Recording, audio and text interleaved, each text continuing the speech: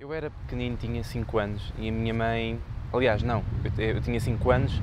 e os meus pais não são ligados à música uh, e estava na, no jardim de infância e a educadora teve a ideia de criar um pequeno rancho e hum, com esse rancho trouxe uma tocata profissional que tinha um acordeão, uma acordeonista. Uh,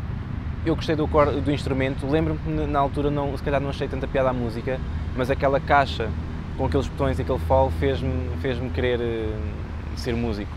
Uh, e pedi à minha mãe que me inscrevesse numa escola de música para aprender acordeão. Ela ao princípio não, não entendeu bem porquê, nem, nem ligou muito. Passado uma semana voltei-lhe a perguntar se me já tinha inscrito na, na, na, escola e ela assim o fez e a partir daí foi, foi continuar a estudar. Várias, várias, mas assim as, aquelas as mais importantes neste momento seriam Lester Young, Herbie Hancock, Greg Osby, Steve Coleman, uh, George Russell, seriam assim essas pessoas, Mark Turner, assim as pessoas que, que me vêm à cabeça neste momento. Ou seja, a importância dos concursos e dos prémios, muito sucintamente, está ligada ao facto de que quando vencemos um desses concursos temos a oportunidade de fazer concertos Porquê? Porque esses concursos têm quase sempre uh, ligações a outras programações, a instituições que apoiam os concursos, assim, desta forma, uh, a forma mais fácil de aparecer e ter concertos era participar em concursos e ser visto lá. Era uma espécie de montra. Essa foi a mais-valia dos concursos. Tudo o resto uh, veio por acréscimo, não é?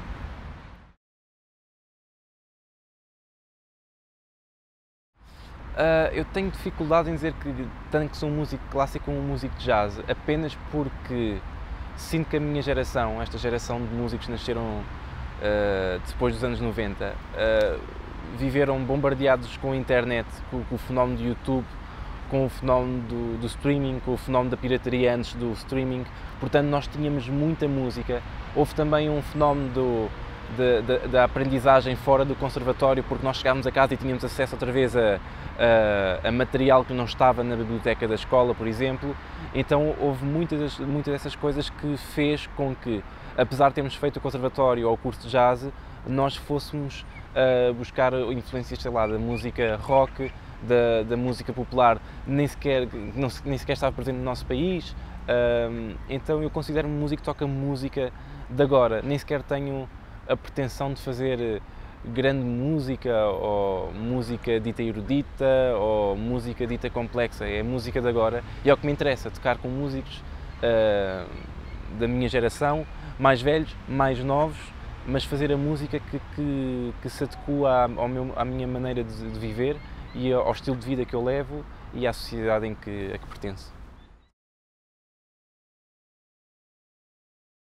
O Directions foi gravado em 2015, 2016, saiu este ano, há poucos meses. É o meu primeiro projeto em nome próprio, com competições minhas, uh, em que tive três convidados, a Sara Serpa, é a nossa cantora que reside em Nova York, que foi uma grande influência para mim, nos meus primeiros anos enquanto improvisador, uh, Gil Goldstein, que é um dos cronistas míticos uh, nesta linguagem, no jazz, e depois Greg Osby, que tornou-se meu mentor, que é o que é o, o presidente da Inner Circle Music, para qual, pela qual o meu disco foi editado, assim como na Europa foi editado pela Niche Records, que pertence à Constance e ao Carlos Martins. Uh, e, o, e, o, Directions é uma espécie de, de uma espécie de livro de consulta daquilo que foi a minha vida musical até 2015. Ou seja, se eu, naquela altura a música já, já, já ia para outros sítios, mas o que eu fiz foi agarrar em temas que já tinha escrito ou escrevia, pensar em várias fases da minha vida e arranjei-as para aquela formação, que era piano, João Paulo da Silva no piano, André Fernandes na guitarra, eu no acordeão, Bruno Pedroso na bateria e André Rosinha no contrabaixo. Os próximos tempos vamos estar a tocar uh, uh, muito lá fora, vamos estar na Bélgica, vamos estar na África do Sul, vamos estar em Nova York. Também vou estar a fazer alguns, alguns concertos com, com, com, como sideman para nomes como Fabrício Gassol ou Mark Turner, então um, são momentos de mudança. Na verdade, o disco saiu há uns meses e nós estamos a ter a oportunidade de tocar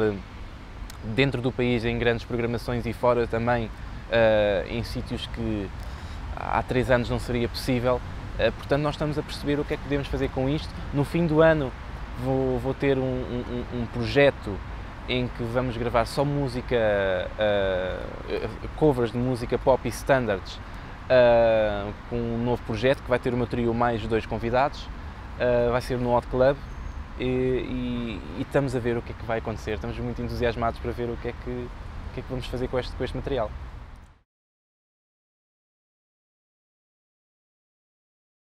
Deu-se um boom nos últimos anos Uh, tivemos a sorte, a minha geração teve a sorte de contar já com uma, com